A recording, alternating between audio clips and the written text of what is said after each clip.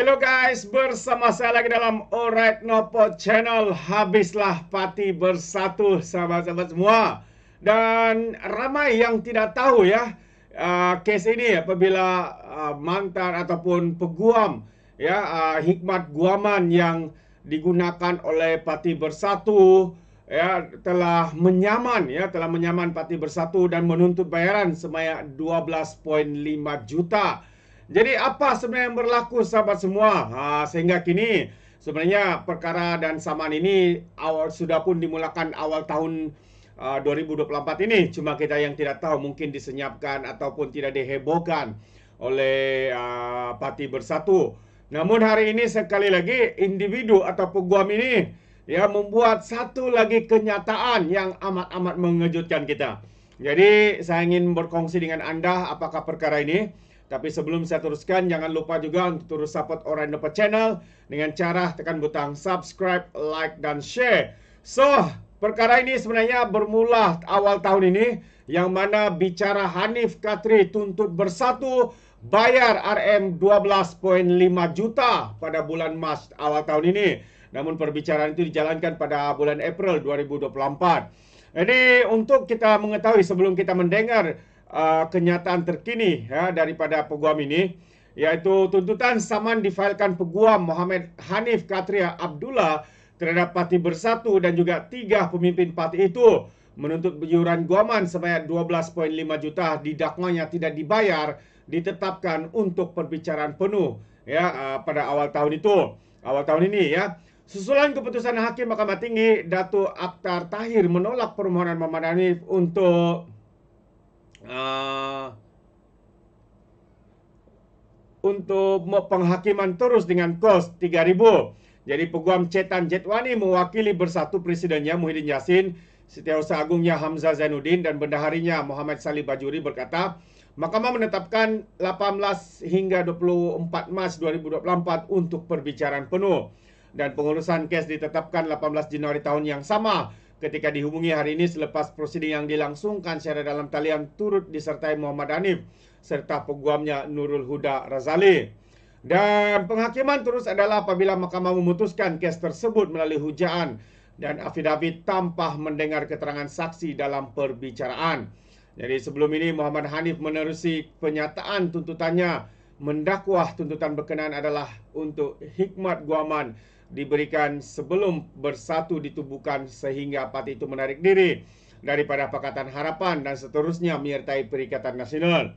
Antara hikmat didakwa diberikan Muhammad Hanif kepada parti itu adalah perkara berkaitan pendaftaran bersatu dengan pejabat pendaftaran pertubuhan ROS yang menguruskan kes mahkamah bagi pihak parti dan isu pembabitan dalam pilihan raya umum ke-14. Jadi hikmat guamannya dihentikan pada 24 Februari 2020 selepas langkah Sheraton yang menyebabkan Mahathir yang juga pengurusi bersatu ketika itu meletakkan jawatan sebagai Perdana Menteri dan membawa kepada pembentukan PN Perikatan Nasional yang merampas kuasa daripada Pakatan Harapan. Justru Muhammad Hanif memohon tuntutan bagi hikmat guaman kepada bersatu yang berakhir pada 24 Februari 2020. Jadi itu antara kenyataan ya uh, hakim ini pada tahun uh, awal tahun ini sahabat semua dan pada beberapa hari yang lalu sekali lagi uh, peguam ini membuat kenyataan dan pastinya kenyataan ini juga uh, akan mengejutkan kita semua. Yang mana katanya bersatu tidak pernah secara rasmi hentikan hikmat saya. Peguam memberitahu mahkamah itu antara kenyataan ya peguam ini. Jadi Hanif Katri Abdullah berkata beliau diarah menyediakan draft perlembagaan parti selain memberi nasihat guaman kepada parti bersatu itu dan dia memberitahu Mahkamah Tinggi bahawa Bersatu tidak pernah secara rasminya menamat, menamatkan hikmat guaman dan nasihatnya kepada parti Bersatu itu. Peguam itu berkata beliau mula terlibat dengan Bersatu pada 2016 apabila beberapa tokoh politik seperti Mahathir dan Muhyiddin Yassin mencetuskan idea penubuhan sebuah parti baru. Bagaimanapun katanya beliau tidak pernah menjadi ahli bersatu. Pada masa material itu Hanif berkata beliau diarah menyediakan draft perlembagaan parti serta berurusan dengan Jabatan Pendaftaran Pertubuhan Malaysia uh, berhubung hal parti itu. Saya beri nasihat secara langsung dan tidak langsung kepada parti kepimpinan tertinggi saya wanita pemuda dari semasa ke semasa. Saya juga mewakili parti dalam beberapa kes sivil yang mana arahan telah diberikan oleh wakil parti untuk memfailkan afidavit mereka, kata Hanif ketika memberi keterangan dalam kes samanya terhadap parti bersatu itu.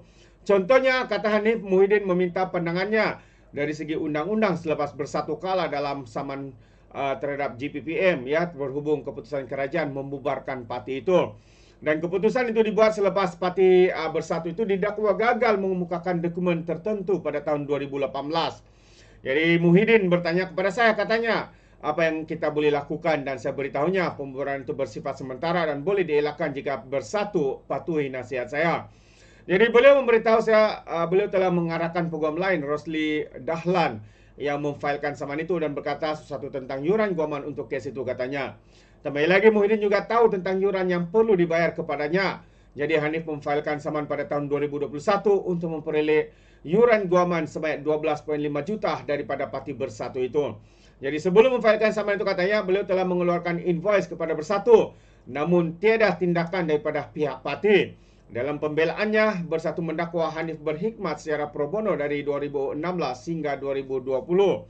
Hanif memberitahu mahkamah sehingga hari ini Bersatu tidak pernah memfailkan sebarang uh, bantahan terhadap invoice 2000 uh, invoice sebanyak 12.5 juta itu di mahkamah seperti yang dikehendaki uh, bawah akta profesion undang-undang. Dakwaan bahawa perkhidmatan saya pro bono adalah satu yang tidak difikirkan kemudian gambarnya. Jadi menjawab soalan peguam bersatu, Cetan Jatwani sama ada tindakan menggubal perlembagaan parti adalah tanggungjawab beliau seorang. Hanif berkata terdapat beberapa orang lagi individu yang turut melakukannya ketika anda menyediakan draft perlembagaan parti, adakah anda memberitahu Marzuki bahawa anda akan mengenakan bayaran soal cetan merujuk kepada bekas setiausaha Silit Muhyiddin? Ini berkata beliau tidak memberitahu Marzuki perkara itu itu kerana tidak perlu berbuat demikian. Jadi adakah terdapat sebarang arahan mengenai pelantikan anda hanya secara lisan tapi tidak secara bertulis? Ah, itu antara uh, soal jawab ya antara Hanif dan juga uh, peguam kepada parti bersatu itu. Ha, itu dia sahabat semua. Jadi kita boleh nampak bahawa parti bersatu ini semakin banyak belajar ya daripada uh, parti PAS. Kerana parti PAS ini juga ya terpalit dengan isu seperti ini. Ya apabila mereka menggunakan hikmat sebuah syarikat printing untuk print uh, material mereka. Tetapi mereka pula tidak membayar. Uh, akhirnya menggunakan dibawa kepada mahkamah dan mahkamah mengarahkan parti uh, PAS termasuk apa ni Haraka Delhi dan beberapa individu untuk membayar ya uh, kos seperti mana yang diminta oleh syarikat terbabit. Hari ini berlaku kepada uh, bersatu pula. Inilah eh, mereka begitu belajar ya banyak perkara dengan dengan parti PAS ini. Antara yang belajar untuk menfitnah, menunggang isu bangsa dan agama. Sekarang ini isu tidak bayar pula ya. Uh, selepas mereka menggunakan hikmat beberapa individu. Uh, takkanlah buat satu sesuatu itu hanya dengan cakap kosong kan. Ya tentulah dengan ada bayaran dan sebagainya. Tidak eh, kecuali ada arahan dan pengakuan sendiri supaya dia melakukannya dengan pro bono secara percuma atau tidak. Pandangan saya. Jadi apapun sahabat semua sekiranya anda memberikan sebarang komen pandangan yang anda berikan di dalam ruangan komen. Tapi ingat komen dengan cara berhemah. Jadi izinkan saya untuk mengundurkan diri. Dan seperti biasa peribahasa mengatakan tak apa pun kangkap dua ton keinginan. Eh, bahasa Melayunya tepuk dada tanya selera. Sekian daripada Alright Napa Channel. Saya kita berjumpa lagi. Bye-bye.